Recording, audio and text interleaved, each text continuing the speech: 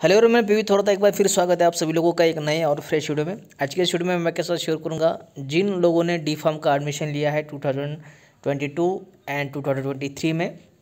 तो उनके लिए ये काफ़ी इंपॉर्टेंट अपडेट है। पिछले ईयर में जो आपकी एग्ज़ाम होने वाली थी एग्जिट एग्ज़ाम तो उसके रिलेटेड ही एक इंपॉर्टेंट अपडेट है। यहाँ से आप चेकआउट कर सकते हैं। नोटिफिकेशन आया था सिक्स फरवरी टू इस डेट पर और नीचे आप देख सकते हैं subject exit examination for the D pharma courses under the diploma in pharmacy exit examination regulation 2022 तो आप सभी को पता होगा कि 2022 का ये एग्जिट का जो है वो रेगुलेशन है, जो कि 2022 से लागू होने वाला था, लेकिन कुछ दिनों के लिए ये जो है यहाँ पे होल्ड पे था। लेकिन अभी जो अपडेट आ रही है आप चेक कर सकते हैं, लेकिन सेकेंड लास्ट कॉलम में it is the further stated that the 388 executive committee of the PCI in its meeting held on 28 January 2023 इस डेट पे जो है, वो मीटिंग हुई थी पीसीआई की। Has decided that the exit examination under the diploma in pharmacy exit examination regulation 2022 will be implemented from the 2022 and 2023 batch of the D pharma courses तो इसका मतलब यह है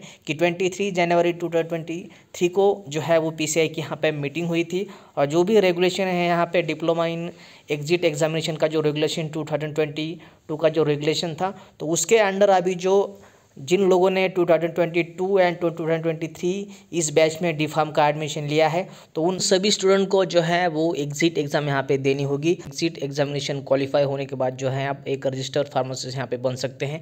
तो यही थी इंपॉर्टेंट अपडेट यहाँ पे जो है निकल के आ रही है।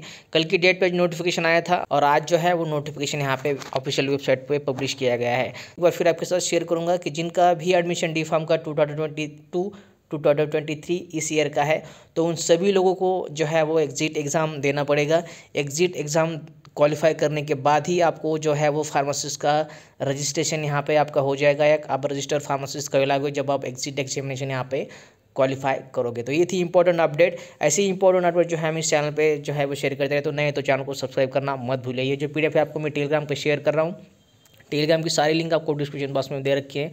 वहाँ से आप आने वाले अपडेट के लिए मुझे ज्वाइन कर सकते हैं। तो आज के लिए इतना ही। फिर मिलते हैं, अगर ख्याल रखिए। जय हिंद, वंदे मातरम।